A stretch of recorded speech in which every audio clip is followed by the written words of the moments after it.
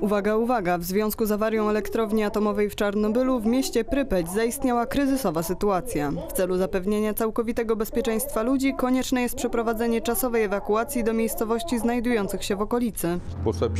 Według komunikatów po awarii sytuacja w mieście była pod kontrolą, więc kiedy przydzielili mnie do ewakuacji osób mocno zakażonych do Boryspola, robiliśmy dwa kursy dziennie. W pierwszym było 26 osób i oni wszyscy zmarli.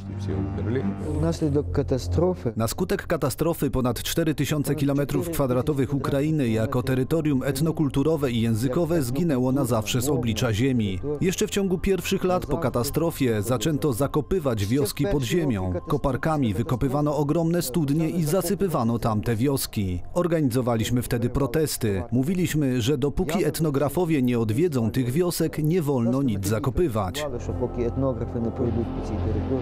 Nie można zakopywać. 我他就行 Ale w czym jest największy problem tej czarnobylskiej tragedii? Każdy teren przesiedlony to jest jak ta mitologiczna Atlantyda, spoczywa na zawsze pod ziemią. Czyli natura powraca do swojego pierwotnego stanu, jak to było tysiące lat temu. Jedna z naszych ekspozycji została nazwana w taki sposób: Uratowane skarby ukraińskiej Atlantydy, czyli taka Atlantyda ukraińska, która zginęła na Polesiu, a my ją faktycznie wskrzeszamy.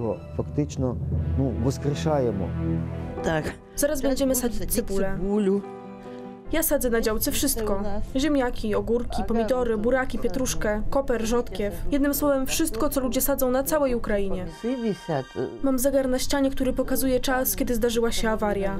Jest to jak pamięć, chociaż ciężko jest coś takiego wspominać. Wszyscy jesteśmy ludźmi i musimy dalej żyć, ale o tym nie można zapomnieć. Na jaki wieczny tak jak Żyjemy po staremu, tak jak kiedyś. Kopiemy, pielimy i przygotowujemy przetwory na zimę. Mamy gęsi i trzy kury. Jedna jest stara, trzeba będzie pojechać na rynek i kupić kury, bo jak byliśmy ostatnim razem, to nie było. 80 hrywien kosztuje kura, więc nawet jak będzie za 80, to 5 sztuk bym kupił. Otrzymaliśmy emerytury, pojechaliśmy na rynek. Będziemy jakoś żyć. Czekać, aż przyniosą kolejną emeryturę. Dzięki Bogu kupiliśmy jedzenie, mamy co jeść. I tak jakoś będziemy sobie pomaleńku dawać radę. Ile nam tego trzeba? Mój Boże. Skiki nam nada jego. Oj, ja tu... Oj, jak to jest telefon radiowy na wypadek pożaru lub wezwania pogotowia. Na jedną wioskę jest jeden taki telefon. Ten był u jednej kobiety, ale ona już zmarła. Dlaczego mamy się bać? Pan Bóg jest na świecie, więc On nas strzeże.